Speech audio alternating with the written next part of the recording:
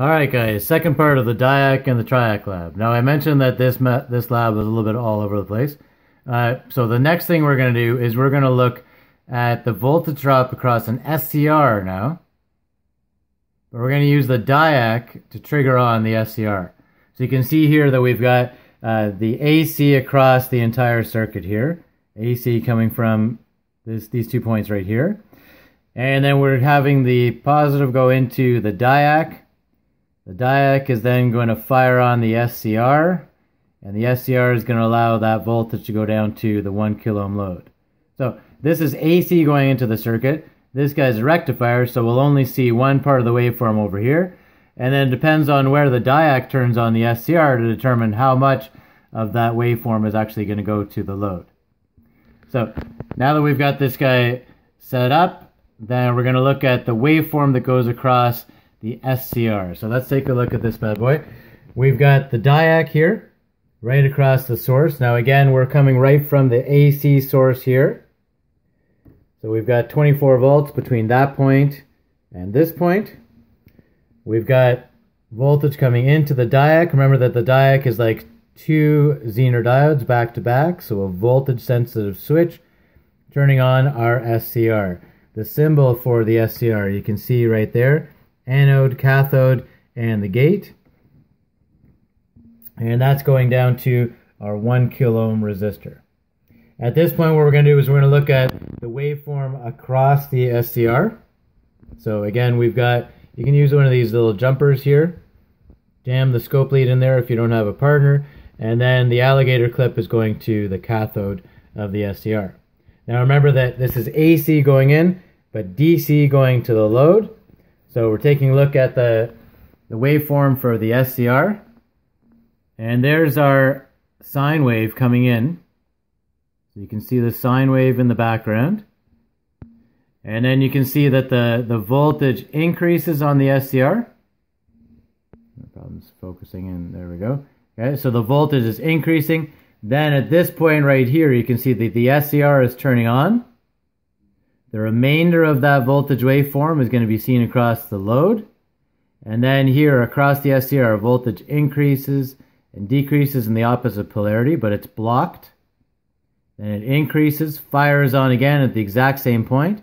This remainder of the waveform will be seen across the load. And then again, it turns off right here. So the SCR is going to latch on, stay on, and then turn off when we get to about zero current. Then the waveform increases in voltage in the opposite direction, which is blocked because it's a switchable diode. Then we have the voltage increase and the SCR turns on once again. Okay, the settings that I'm on right here are uh, I'm on 2 volts per division. I'm on 50 milliseconds. And I'm on the times 10 on the scope probe.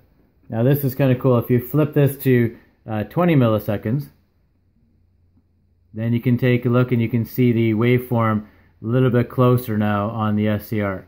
So you can see that the voltage is increasing, the SCR turns on. This part of the waveform we should see across the load, and it completely blocks this portion of the AC going through.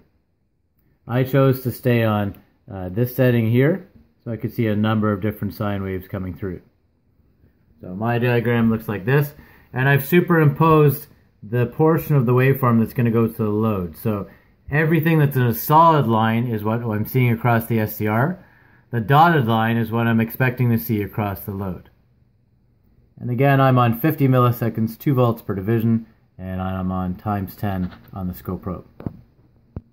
Beauty. So next thing we're going to do is we're going to look at the voltage across the load. So we saw what was developing across the switch.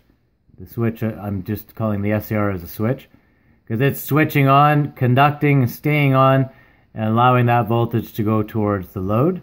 So in order to take a look at that waveform now, we're now going to move our alligator clip down to here. And we're going to move our scope probe to the top of the resistor. We're looking at the 1 kilo resistor here. I just lost my scope lead here, so give me two seconds to set that up, and then I'll show you the waveform that's on the screen here. Beauty. So we said that the remainder of the voltage is going to go, this thing fell out again, sorry. The remainder of the voltage is going to go across the load there. So now we can see that the SCR was blocking the negative portion of the waveform. And it was turning on near the peak of the positive waveform. So the remainder of the voltage is seen across the load. Okay, so drawing that out on my lab, I've superimposed the, the AC here, so the dotted lines are the AC, but what we're seeing here is these waveforms going to the load, right? Those are corresponding to uh, these guys right here.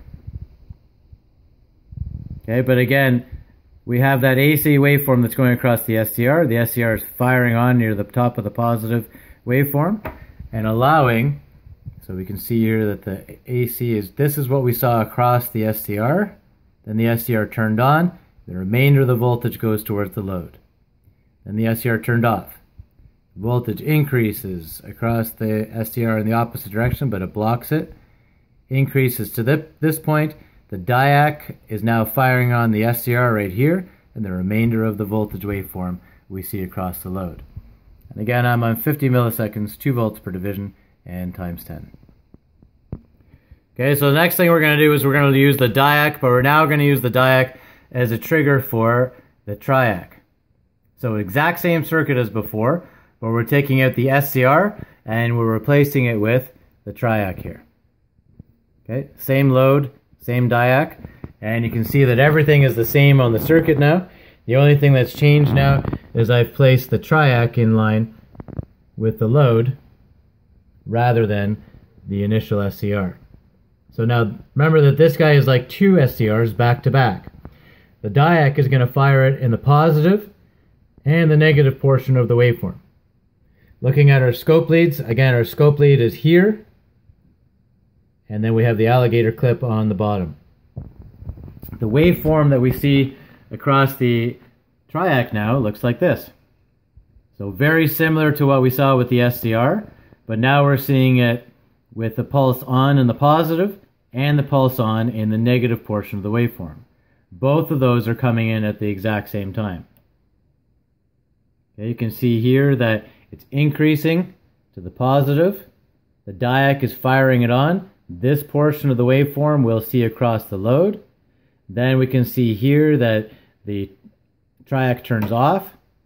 Sorry, I lost the scope lead. Hang on. Okay, so there's our, then in the negative portion of the waveform, the voltage is increasing across the diac. The diac then turns on the triac here, and the remainder of the waveform we should be able to see across the load. Okay. I'm on the same settings here, so scrolling down, this is what I saw on the triac, 50 milliseconds, 2 volts per division, and times 10. And you can see that I've superimposed the AC waveform that's happening in the background. But we can see that the triac is turning on in both the negative and the positive portion of the waveform. So across the load, we should see this portion and this portion across the load. Okay, this is the waveform that we're seeing across the triac. Alright guys, last part. We're going to use the diac as a trigger for the triac, but now we're going to use look at the voltage across the load here. So we saw that the triac was turning on in both the positive and the negative portion of the waveform. What determined where it turned on was the diac. So it turned on at the exact same spot in both the positive and the negative portion of the waveform. And the remainder of the waveform is going to be seen across the load. So now we're looking at the resistor. And remember that the across the triac, the voltage is going to be increasing. The diac is going to fire on the triac, and the remainder of that voltage waveform goes across the load. Then it turns off. The voltage increases. The diac turns on the triac, and the remainder of this portion of the waveform goes towards the load. So this is what we're seeing across the load. And I've kept everything the same all the way through, 50 milliseconds, 2 volts per division, and times 10 on the scope probe. So again, we're looking at the exact same circuit. We have the diac firing on the triac, And now we're looking at the voltage across the 1 kilo ohm load. So this is our waveform on the scope. And you can see that the waveform is increasing, the diac is turning on the triac, and this is the remainder of voltage that's going towards the load. If we change the, the setting here, then you can see here that the again the voltage is increasing to this point. The diac turns on the triac, and the remainder of the voltage goes towards the load. Then turns off. Voltage increases. The diac reaches that potential to turn on the triac. Triac fires on and stays on until we have minimal current and turns off. Then again, the voltage increases, the diac turns on the triac, and then we can see that we get the remainder of the voltage going towards the load. Okay, so last portion of the, of the lab, we're looking at this waveform here, and this is our 1 kilo ohm load being fired on by the triac. So it's an awesome way. Now if we put in a variable resistor in with the, the diac, then we'll be able to have a full 180 degrees of control over this entire sine wave. So usually in your dimmers, you'll find that there's a diac, and the diac turns on the triac and allows you to have full control over the positive and the negative waveform of the AC going towards your light bulbs in your house.